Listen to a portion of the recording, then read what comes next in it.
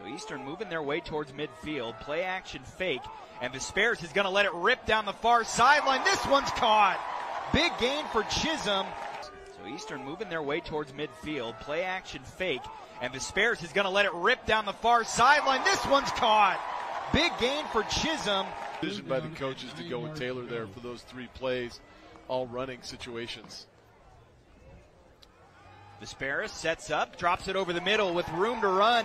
This is Michael Wortham, and Wortham inside the 10 to the 5, barrels over his own teammate, and he's going to be out at the 2.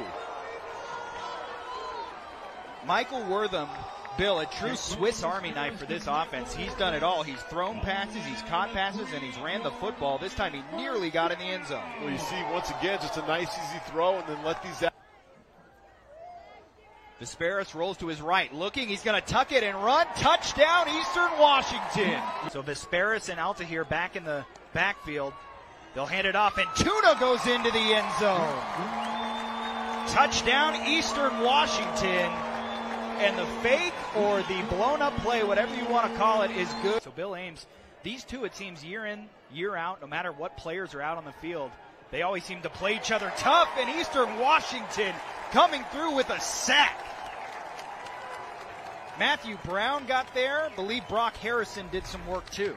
Yeah, they just great job of just getting upfield. Total whiff there by the offensive lineman. And then the finish on Munoz. And to finish your point, Austin. Right decision. A tough decision, I'm sure, to bench your starting quarterback last week as here's a play just blown up in the backfield by that Eastern defensive line. I think that's Matthew Brown again. Two sacks and that tackle for loss. Brown having a great game. Officially a gain of one. Visperas, three-man rush. He's going to let it fly. He might have a man. Squeezed that into coverage, and Nolan all made the catch. Kekoa's best throw of the day.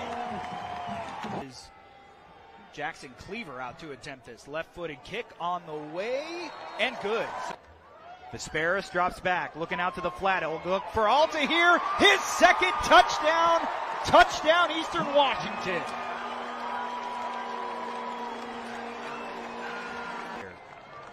Third and goal. It's Taylor.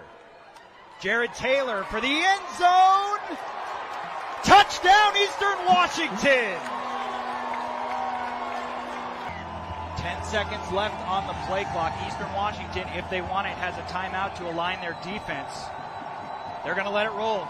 Richie Munoz trying to keep the game alive for Weber State. He'll fire over the middle. Incomplete! Eastern Washington will win this football game.